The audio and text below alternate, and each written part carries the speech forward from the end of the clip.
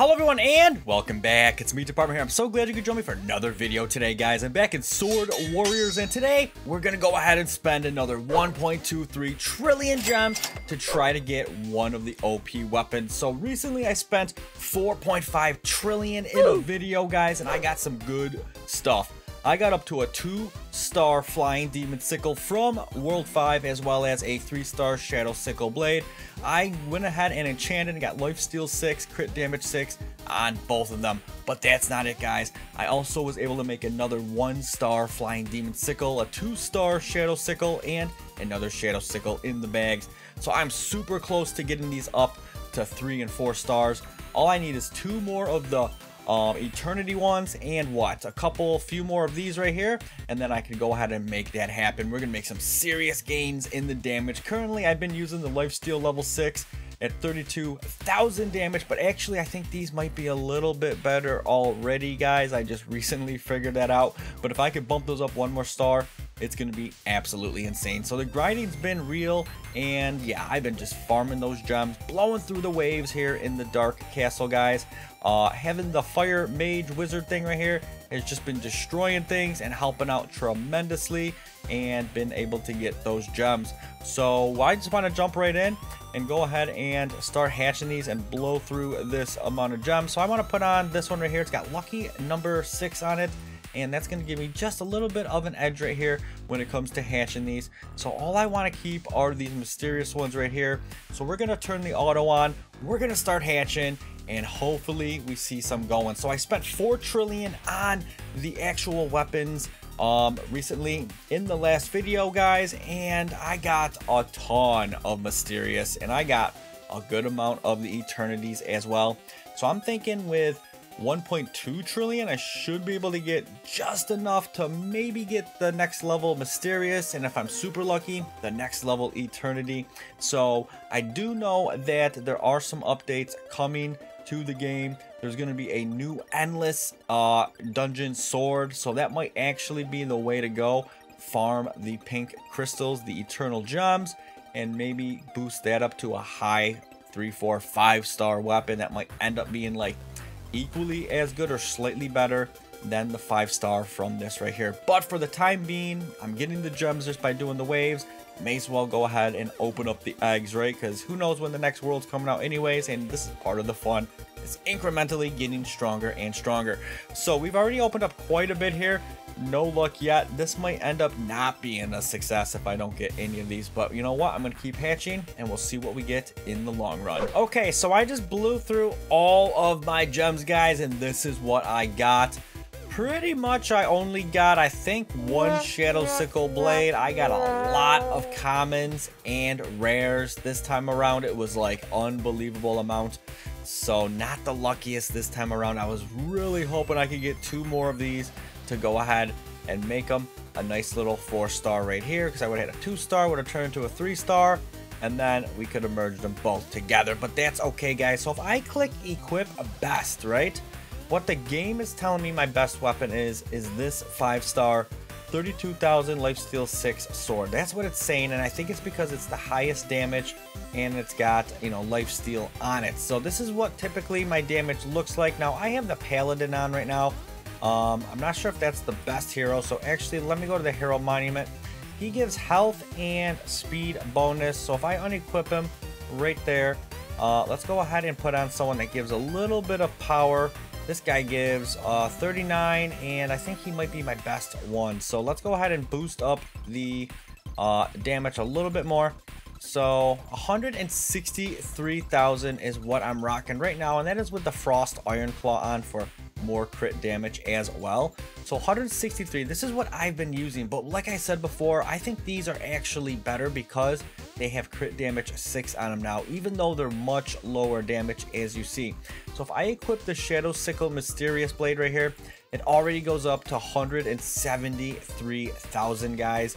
That's actually really, really, really good. So what I had on before was 163, so it's 10,000 more damage. If I put this one on right here, it not only looks cool, but it does 175,000. So this is actually my best right now, and that's because of the dual enchants that these Eternity and Mysterious let you actually get.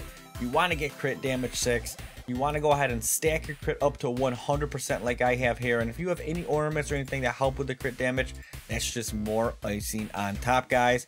So that's what we're working with right here. We can go ahead and go into the Dark Castle now. This is a tremendous amount of damage. I should be able to just plow through this. Now, I don't have a wizard on at the moment, so I'm getting towards the end here, and it's been no problem at all. As you would expect, the Flame Mage is just really, really OP. On top of my heavy damage, 175,000, with the lifesteal, the crit damage 6 on it, nothing's even touching me. I knocked my HP down to 105,000, guys. If you watched other videos, I had a lot higher HP, but my damage was a little lower. So to compensate that, I had high HP. But now, my whole goal is to just do as much damage as possible. The faster I kill them, the less hits they get on me. Therefore, the less health I'm going to need, on top of a little bit of life steal to fill up the bar of any missing health things are looking pretty good. So as you see, these things are just getting annihilated. And the Flame Mage is just so good because she does 25% of everyone's HP, boom, with that big fireball. And she also does an additional percent of your weapon damage. So basically this scales and gets stronger as you get stronger as a player. It's like one of those heroes that will always be with you. It's so good. So the higher my weapon damage does, the more additional damage she does, which means I even have to do less hits. So here we are in the final waves, guys absolutely annihilating things. I love the fast attack speed of the claw. It does help out and it gives me even more crit damage on top of everything else. And just like that, oh my goodness, dropped like a fly. Easy peasy. We go ahead and stop right there because you know what? That was a piece of cake, guys. That was a real big piece of cake. But another thing I do like to do, so I do want to show you just the stats real quick. I think another cool little pairing so on top of her explosion, doing 25% maximum monster health and 100% of my attack damage to all enemies at the beginning of the wave, that's awesome. If you couple that with the Night Night Cloak instead, jump to the center of the map and do 40% of my attack damage to all enemies, well, I'm going to be doing 140% of my weapon damage. So obviously, my crit is going down a little bit here, but that is okay because it actually bases off of weapon damage, I think, and not your total damage with the crit. So I don't think that's a big deal. I'm doing a little bit less critical strike damage, but I'm going to be doing a lot more heavier front end damage here, as you're going to see when we get in. Now, I know these are just, you know, low level waves because I don't have the wizard equipped or anything like that, but I do want to show you just how ruthless this can be right here. Not only is the Flame Mage doing the thing, I'm doing the thing, and just everything's just obliterated, right? It's just gone. There's nothing left. It's absolutely insane. It is crazy, crazy. And then if anything does survive, well, I got my swing on, and it's going to be hitting like an actual truck at 159,000 right now to finish it off. So, I mean, we're talking major damage right here, guys. I get to actually wear the Eternity from the recent world, and that in itself looks really cool. I don't have to, like, transmog it, so I don't know what was going on there, but that stuff was just beating me. Oh, because I don't have auto on. So my guy was just sitting there taking it. Oh, man, my HP's so low. So we're going to check out the power of the life steal right now, right? If I even get a chance to hit things, uh, which I don't know if I'm going to actually be able to because they're all dying. So I don't know why that one was uh, sitting there still alive whacking on me for so long. But my HP is slowly going up. Even in the little bit of hits I am able to get, as you see, I'm, I'm up to 17,000 HP. Now, one thing you could do is reset your stats to put everything back in, but I don't think I need to do that here. I think I can just bank off of hitting these things, and look at that. My HP is gradually going up. I don't have any healing on at all. If I really wanted to, I could of course go ahead and put on the slime balloon instead and get a little bit of passive healing every three seconds. It's going to give me, you know, a good chunk of HP on top of the life steal. And we're just getting back and back and back. It's like almost impossible to die when you have a high damage output and obviously the flame mage i'm on my way to getting op i'm gonna go ahead and farm more gems but i'm gonna put more of a focus on the endless halls i think i don't know if it's gonna be worth trying to get these uh, boosted up we have to see what the new weapon really looks like that might be the way to go in the future, guys. But we won't know until the update does come out for that, guys. So yeah, that's really all I had for today. Spending more gems, just getting stronger, showing you my progress. You know, every little bit of damage and life steal and all the stats and all that stuff really help go a long way. So that's all I had for today, guys. I appreciate you sticking with me. And remember, until next time, stay positive, keep swinging, and have a great rest of your day. Bye bye.